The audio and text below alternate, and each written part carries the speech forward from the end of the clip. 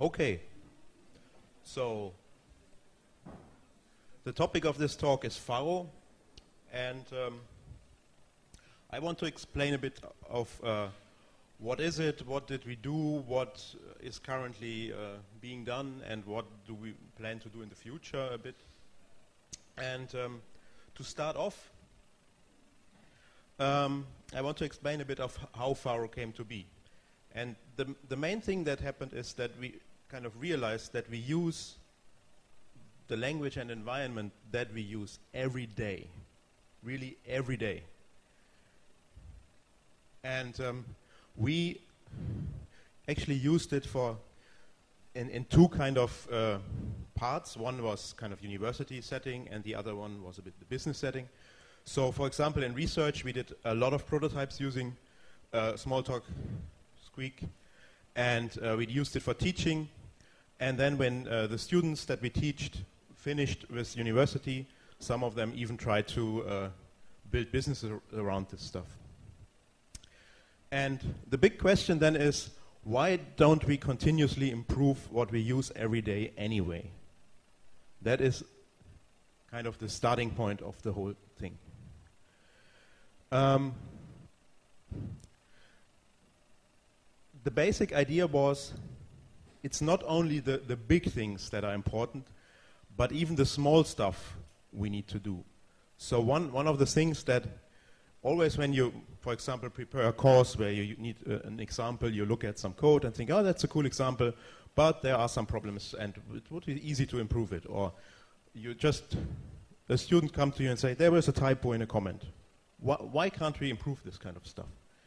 One small step at a, at a time. And even sometimes there are imperfect solutions that are clearly not uh, kind of the best way to do things if you would put six months of your life to it, but which nevertheless improve things um, compared to what you are using right now. So, um, the idea behind that is that every small improvement that one does has actually an effect, be it a typo in a comment or be it a comment that is outdated, uh, where people really get confused. They read something and it, huh, this looks different than the source code. Why? And then you lost half an hour just because something is outdated. Or another example is the refactoring browser, which is a kind of a big kind of improvement, where by using uh, a tool like the refactoring browser, you can actually improve the system, for example, by running the uh, code critic tool, or you can refactor your system quite quickly. And even if you um, look at the refactoring browser and you say, huh, we learned so much about refactoring in the meantime, this is not the perfect refactoring browser that you could do, and for my perfect system, I would actually like to have the perfect refactoring tool even so, it's imperfect. It is better to, to use the imperfect stuff if it has, if it can contribute to the whole story. So if you have a refactoring tool, it gets much easier to improve a refactoring tool as if you don't have a refactoring tool, for example. Um, so the idea is a bit from the history. We used this system 10 years ago we most likely will use this system in 10 years. So why don't we improve it constantly so that we can actually build uh, something great? Um,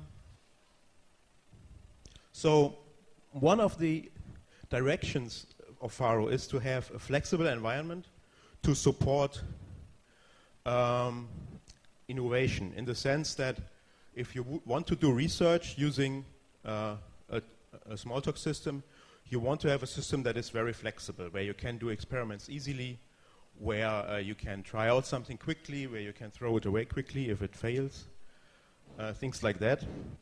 And where maybe some of these things that you try out might be integrated later. But the first goal is actually not that. The goal is not to um, is not that this is the um, system that has directly the innovation in it, but it's more the system that is the basis to allow you to experiment with innovative concepts. And maybe if they turn out to be really great, you can, in a second step, think about actually integrating them into the system. And the second uh, direction is, um, let's see, this idea that we want to have a robust uh, environment to support even doing things where you do not do research, but where you want to have a system to get a job done. And there then is the thing that one uh, thinks, ah, this is, I think, maybe a conflict. Robustness on the one hand, innovation on the other, how can that fit? I mean, this is the old conflict. We want to do business, so we want to have a real problem in the real world, not a research problem. We need a stable system that does not crumble under my feet while I do the real uh, problem solving. Whereas the research people, I mean, they can use something that is uh, unstable because they just do explorations in research. But I actually think that this is not a conflict. So one thing that, that, that I realized is that uh, even research, or that, that there is a common ground be between research and between uh, the, the non-research world. And the reason for that is that if you think about uh, research, then one interesting metaphor is that of an expedition uh, onto a big mountain. So we have a nice picture about a mountain here, which is a bit gives a bit the wrong impression. So one thing is clear, we are down here, and our goal is somewhere to go get up onto the mountain. Uh, and research is actually the process of exploring the space and getting up and checking uh, where is the peak, what can we do. And uh, it is different to the picture here because here we have blue sky and we actually see the peak, so it's clear there we want to go. In research, it's a bit different. So in research, uh, the mountain is completely in clouds, so you have no clue how many peaks there are, which is the highest one. You don't know. The only thing you can do is that you can do expeditions up the mountain to, to check and to find new space. But if you ever try to climb a high mountain, then it is extremely difficult to do that from the bottom in, in the valley, directly up to the highest peak, especially if you have no clue where you want to go. So what you do in a situation like that is that you go up a little and then you build a stable base where you can build some real houses where it's warm, where then you can actually rest a bit, and then you can go down again and get a bit more supplies up, so that you build at some point a really nice base where it is already nice to live. Actually, it's nice high up. It's actually much better than it used to be in the one down in the in the valley. Uh, but it's just a step for exploring the mountain. So the idea is that you gather the material and then you can make expeditions to the mountain. And that is actually what, what research is about. To then take the chance, get some special funding to do the special expedition to find new space and go to the peak, which you don't know where it is, so it will be a very risky expedition. And you are very happy that there is the base where you can always go back to because you will fail. There is no way that you will find the peak in the, in the first um, iteration. So from, from that point of view, um, the, this, uh, these two opposite fields of one research and one uh, commercial development are actually not that different. So like uh, in, in, a business case, we need a stable base to explore uncharted territory. And it's, it's clear, I mean, in, in, all, in, in all directions, if you hire a PhD student to work with you three or four years with a shitty salary, you cannot give him a system that is bad. This is not possible. Or if you teach uh, students a course, you cannot give them a system where after three weeks the best student comes and says, what you teach is the opposite of what I see in the system that I have before me. That is not possible in the long term. So the question is, did we succeed with this, um, with this approach of both camps uh, in one, one system? And it's a bit early to tell because it's very, very early in the development. The first release of Pharo was done in May, so that's just a couple of months ago. So we, we don't know. We will see. We will try hard and we will see what comes out of it. What is clear is that on the research track, there are already people using it. On one hand, for teaching, so it's used in many universities from um, France over uh, Belgium to uh, Switzerland and especially Argentina. It's used for teaching. We have a couple of groups using it for research. We have the, the people who used it all the time. So, for example, in, in Bern, where uh, a lot of stuff happened, or Lugano, or Douai, or University of Chile. So that seems to work well. We will see how it continues and if there are real results coming out of this or not. That the future will tell. On the other hand, we uh, gathered even some companies to, um, or we could interest some companies to actually do development in Pharo. This is the, the list um, that comes from the website, so everyone who uses Pharo can send a mail and then the link will be added to the website. We do not know uh, if this is co uh, if these are all the companies that use it, or if these are just the people who are interested in getting the word out, or it's not even clear in some cases how they actually use it. But it was for all of them interesting to be on the website, so it's, it's already an interesting uh, data point. So I think we can actually make it happen and build something where we can build a kind of an ecosystem where you can make a living doing what you like and not make a living doing what you not like and do what you like in the evening. But we will see. It's very early and the future will show if this is really the case or not. So before I will go in the details of uh, the releases that, that we did and a bit the plans for the future, I will do a, a little bit of a showcase of a couple of projects that are happening uh, I have one screenshot of the system, how it looks in 1.1, I think. Um, but I will not go too much into the detail of, of uh, the Pharo development environment itself, but I will more uh, show a bit uh, the projects that are using it. So we have, as uh, one of the showcase projects, we have Seaside, which uh, is using Pharo since a couple of months now, I think. Uh, and you can even download a pre-built uh, image with Seaside installed that uses uh, that is built on Pharo. And uh, the Pier content management system has uh, some pre-built images using Pharo available that you can download if you need a, a wiki system, which is interesting. So, for example, the ESUG website is built using this uh, system. So it's not a a basic wiki environment, but it's more really kind of a content management system that you can use to build websites. It, um, so if you look at the ESUG website, then you see that it is actually possible to do some look and feel that makes it look like a real uh, website as opposed to a wiki system. One interesting aspect is that you can uh, embed Seaside components very easily into this, which is quite nice. Um, the next uh, project that uh, I want to highlight is Gemstone. So Gemstone is uh, an object-oriented data database that is a Smalltalk or a Smalltalk that is an object-oriented database. Something um, very interesting if you do it with persistent data. And the problem is that it does not have an, uh, any graphical capability. So it's a server-only system. And the IDE that you can now actually get is uh, using Pharo uh, pre-configured with all the tools so that you can do development. So you edit your code and then it's uh, deployed in, in Gemstone.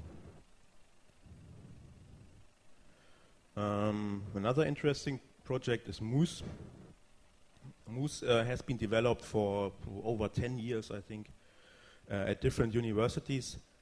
And it's a general platform to do visualization and analysis of uh, data.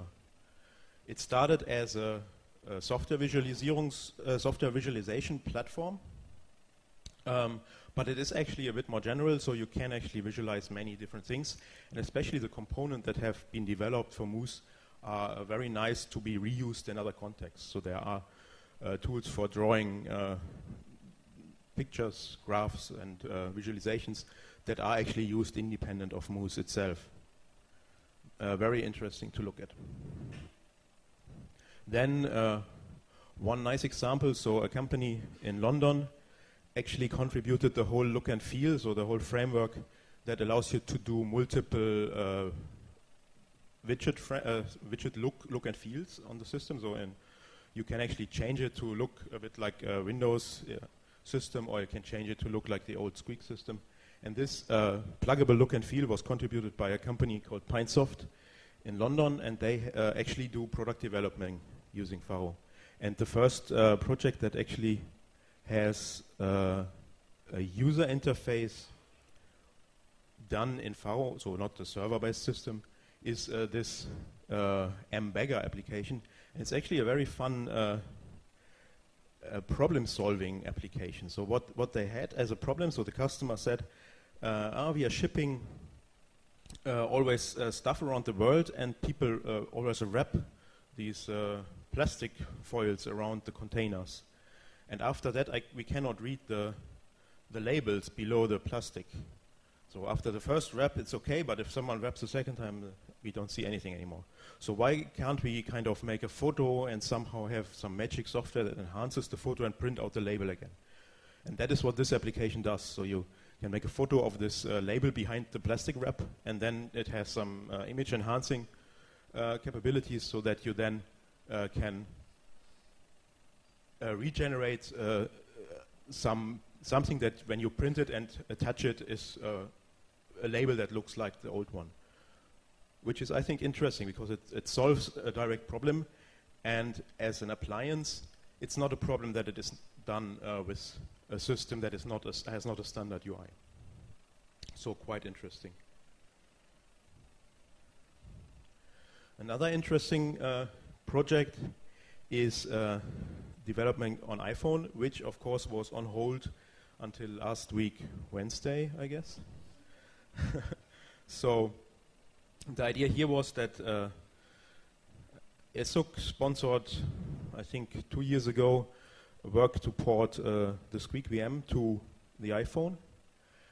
And um, then continuing, so that means that just the VM is working on, on, on this uh, platform, but you do not have any capabilities of using the native uh, widget set, which you need to do if you want to um, do an application in the end market because people want, even the end users want to have the standard uh, widgets on the, on the iPhone because they are used to this kind of interaction. So there is, of course, always the possibility to do it kind of by hand and uh, call uh, using um, FFI or something like that, or an Objective-C bridge, I think exists directly and build the widgets, which I think some applications do that were built. But the question is, can't we have some uh, kind of framework that makes this developing much easier? And this is what uh, the development of, of Mars and uh, Dymos is all about, to have a, a real uh, widget uh, set or a, a real capabilities of using the native widgets on the iOS devices so that you can actually ship um, applications in the, uh, in the store and uh, the review process does not say, ah, you used the wrong kind of button, which uh, happens. So I think if you do a game, it's okay. Then they don't care what kind of buttons you use. But if you use a kind of standard end user application, then uh, they enforce that you use standard widgets. So not even emulated widgets are okay, but you need to use the real thing. So that was a quick uh, overview of some projects. Um, what I did not go into detail is what kind of research is going on. Um, I think in the workshop in the afternoon there will be some people uh, presenting something that is done uh, by people that by by research group that use this system. What I want to um, explain a bit is what what we did in in the past, so up to 1.0 and 1.1, and uh, what we plan to do in the future a bit. So. Uh, this whole stuff started in uh, 2008, uh, in the spring, I think. Uh, and uh, we started back then with Squeak 3.9, which was the system that we were using every day for research, teaching, and business, part of the people that started. And the idea was to first clean up, and we are up to today not really out of this phase. So most of the things that are happening is that we try to assess a bit what do we need, how can we structure things better, what is not needed. So for example, what was done is to remove the old MVC uh, capabilities, which were broken since many releases and not used by, by anyone. Um, and one of the, the ideas is to, to focus on one abstraction and not try to support three or four of everything. So why have MVC if Morphic works? Um, another thing that we removed e-toys, and I have to stress again, this does not mean that we do not like eToys. Uh, I think everyone and uh, involved really likes e-toys, and especially me, I'm a big fan. But sometimes you really need to evaluate. Can you um, can you bring something forward, or can you not?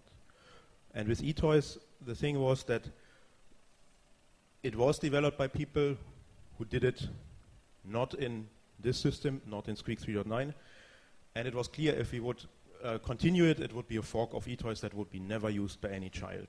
So, and if you then look at the source code, it is beyond uh, its lifetime if you look at the source code, to, to say it like that. So, um, so it was a, a, hard decision, but, but we had to take it. And then we um, integrated the, the new look by the company uh, uh of uh, London, and uh, some stuff that was there already available and used by many people. Uh, we uh, looked at tools and after some iterations now use a combination of OmniBrowser in the version maintained by Lucas with the refactoring tools integrated as maintained by Lucas. Um, we integrated the block closures that Eliot uh, Miranda did. Um, and then we uh, integrated a lot of uh, small improvements and, um, and, things like that. And we, uh, another thing that we did, we started to look at the preference problem, which there, so there used to be one class preferences, which was referenced in, referenced in I guess, 800 methods, um, which is a problem that because it means that you, how do you package something if, if that, uh, that happens? And there were a lot of preferences that were not really needed. So I, I think every time uh, some, someone wanted to add something, the easiest thing was to do a preference because then nobody could be against it because you could turn it off. And so there were a lot of preferences. I think in 3.9 I already removed 50 or so. I don't remember, and, and we continued. Um, so one, so we closed for, for 1.0, we closed 1,200 bug reports and uh, did uh, 470 updates, which means that every update contained uh, around three uh, fix fixes, uh, I guess, on, on average. So sometimes it was just one, sometimes it, it were more. And uh, we actually did the first release in April 2010, even so we started in 2008, so it was a bit slow coming, and especially the beta release took far too long. we changed that for 1.1, which um, we actually released far quicker. So 1.1, so we actually developed it in parallel because the beta phase was going on so long. Uh, so 1.1 focused on performance, uh, more cleanup, simplifications. We have a small deployment image now of 6.2 uh, megabytes, so which is a, a, stripped down version of the core image without tests and without some uh, things that take a lot of space. Uh, one thing that, that was integrated for real is the settings framework to get rid of preferences, uh, which is very interesting because you can now uh, add a preference to the system uh, without having to change a global preference class. The same uh, with the world menu. So if you want to add a tool to the main menu, you used to, uh, you needed to, in the past, change the global class that implemented the menu of, of, of the world. And this now uses a registration system too, which allows the tool just to register nicely. Another thing uh, that was uh, enabled for real is native host support for Mac. And um, the amount of updates uh, was uh, yeah, 800, around 900 uh, bugs closed and 410 updates. But it was just released uh, three months later, so this July. Which means we come to the present. And um, I do not want to talk too much about it because it's ongoing, um, but we have already 300 round reports closed, and uh, we try to get a release done as quick as possible. So I think that we will now focus a bit more on getting the last bugs out and have a code freeze uh, soon so that we can actually release. Um, and it, it's a kind of a continuation of what we did in 1.1. So now the preferences are really gone, for example, and we re just rely on, on this one framework and integrated more things like a new editor, which will be very interesting, and things like that. Um, so that means we come to the future. And this is always a, a difficult problem in, in projects like that. Because the future is what we do. And it's not what we would want, what should happen. That is not enough. And so I'm always very cautious to say version 1.2 will have this feature and that feature and the other feature because if nobody does it, then it will not happen. And there are things where I say, okay, I'm working on that. I'm quite sure it will be finished until that point. But there is a far bigger wish list that would be nice if it would be finished, where people are working on slowly, but where we cannot guarantee that they will happen until a certain release. They will happen sometime, but not in a certain release date. But there are some things that will happen for sure. And I want to uh, quickly explain them a bit. So one thing that we are experimenting with a lot is uh, build servers. And this is mostly uh, Lucas that put a lot of effort into this. And the idea here is that um, if you ever try to uh, use tests in a, in a big system, it is really difficult to, uh, to uh, keep them green if they start to take a long time to execute. So in, in it's, it's, really difficult. So if you integrate a small change, you normally should run all tests. But if taking uh, if running all tests takes 30 minutes, you will never do it. Really, never. It, it just does not scale. So the idea that, that one needs some kind of um, server-based infrastructure is kind of old. I think that was one of the things I actually wanted to do already 10 years ago for, for Squeak, which never happened due to many uh, reasons. But I think it's extremely powerful. So the idea is that as soon, you as soon as you commit a new version, the system will take a fresh release image and will load your code, and then it will run all tests, and it will run uh, the lint checks of the refactoring browser.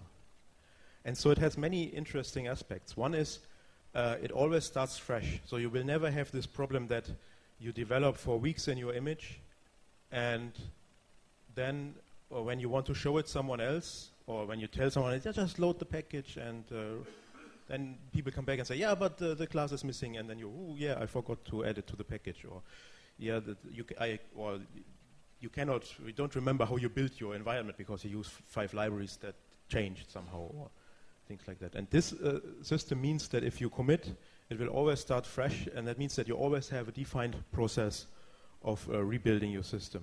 And you always get direct feedback. One, of course, the tests. So if you do a strange, dumb mistake, you will directly see, oh, there is a problem. Or I like especially the lint checks, even though there are many, many checks that will fail in any system, because it just suggests things that are mostly not really relevant um, you often see when it really spikes up that you made a big mistake because I, maybe you uh, cleaned something up, but you forgot to remove all the unsent messages, and then it finds 50 unsent messages in the system, and then that means you see a spike, and that means you can directly think about, yeah, I should maybe look at the reports one of these days and, and clean it. Um, so this is now used by multiple projects. So one is that Lucas is using it for everything. And this one is, is a project of mine that Lucas uh, configured on his server. Another project that uses is Moose. So Moose no, has now uh, nightly builds that are actually built by uh, by the build server. Um, and the plan is actually to use it for everything. That means uh, at some point when we have managed to set it up, we want to uh, have a test runner for the core image. We want to build the release image using the build server. All of them run, run the test, so you always see if the tests are failing or not. We want to uh, build the one-click image automatically using this.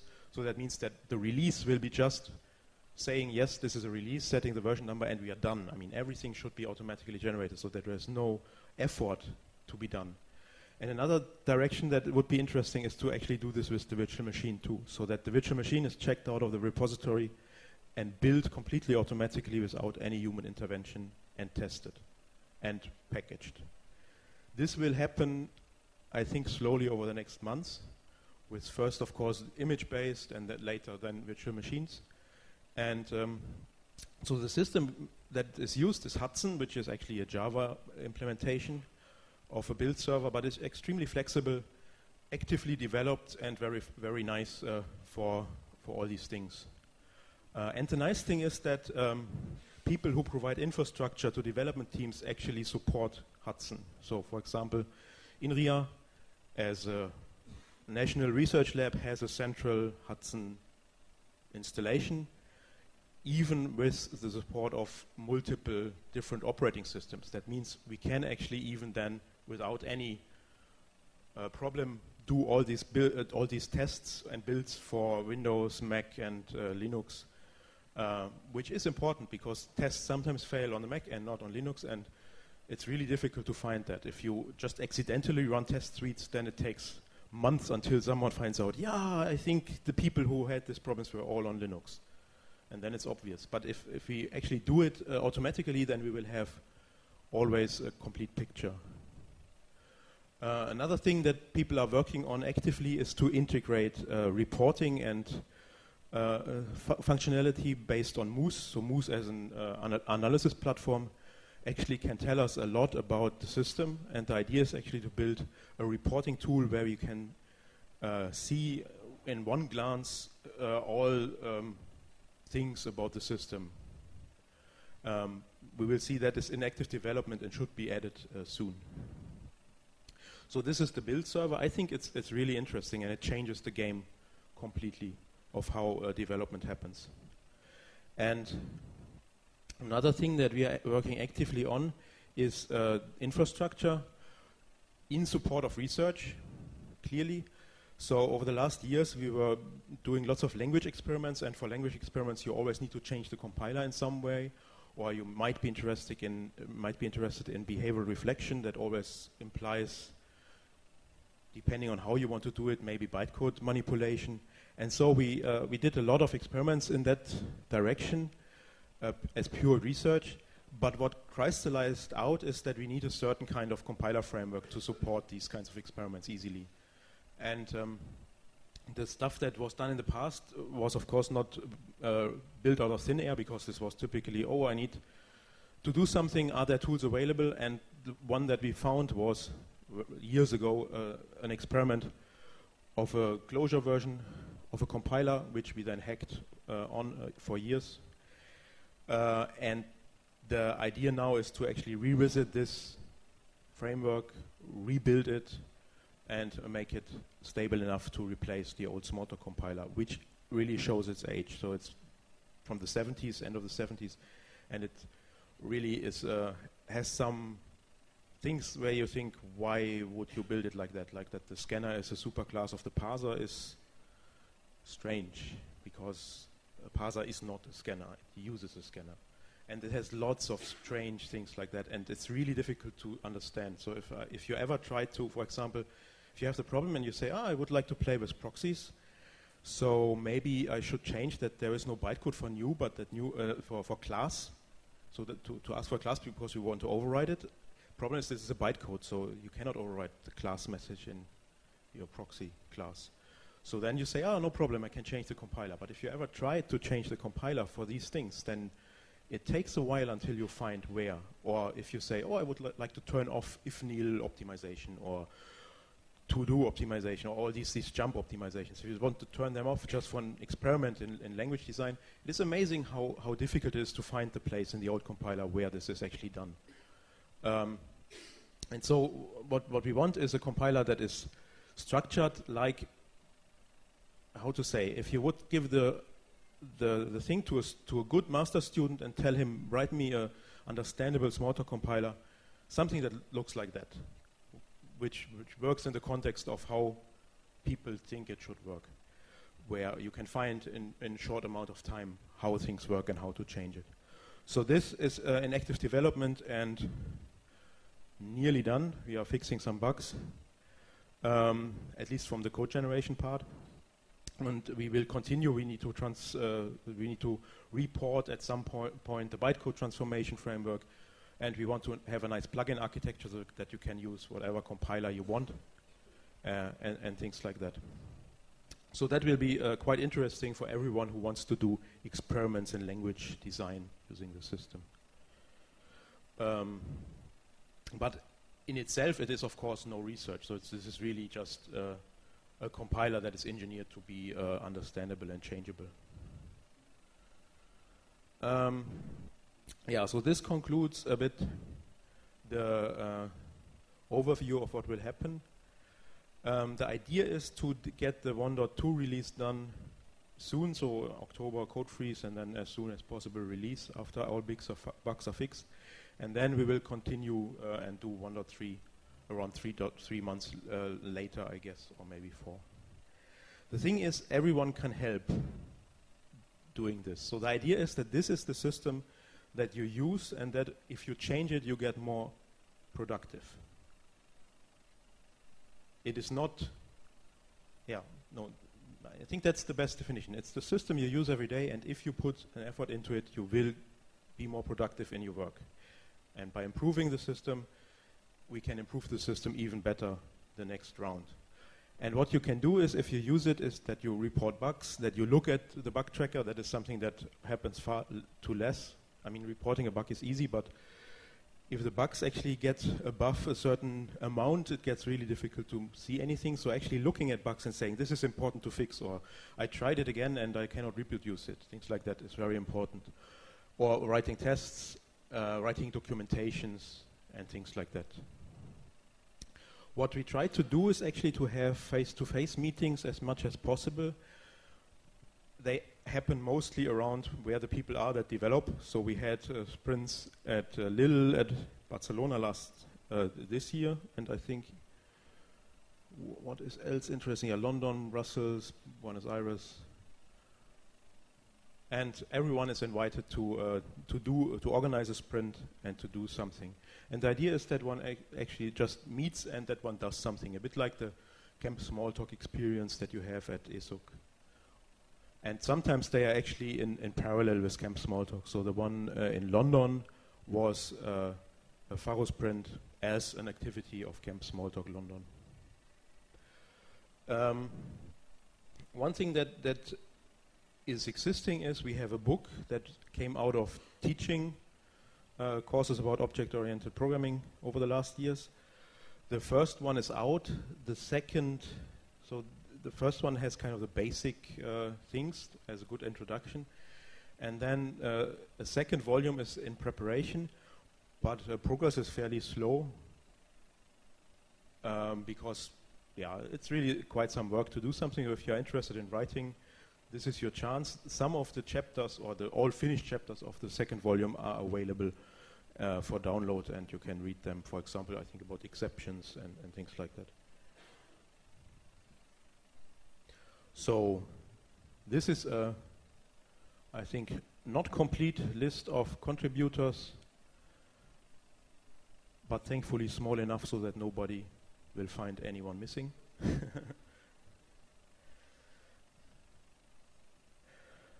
um, what to say? Yeah. And, and the contributors are actually important, so I don't think that it, it makes sense to do something like that alone. So the idea is that this is the system of the people that use it. And so uh, the contributors are the most important aspect of, of the whole thing.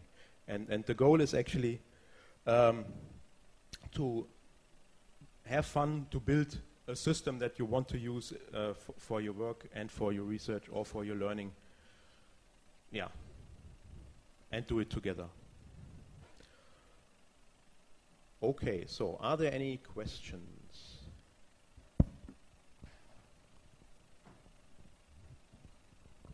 Uh, I have a question from uh, Laurent Laffont on Twitter. Yeah. yeah. and the question is, uh, are some people working on packaging eToys on Pharo? I think not. So the problem is that I think eToy is unpublishable, uh, unpackageable. so if you look at, at, at, at Squeak, then it's, it's not really uh, a package. It's unloadable, but I personally don't think that you can package eToys. Sorry. The structure is not, not made for that.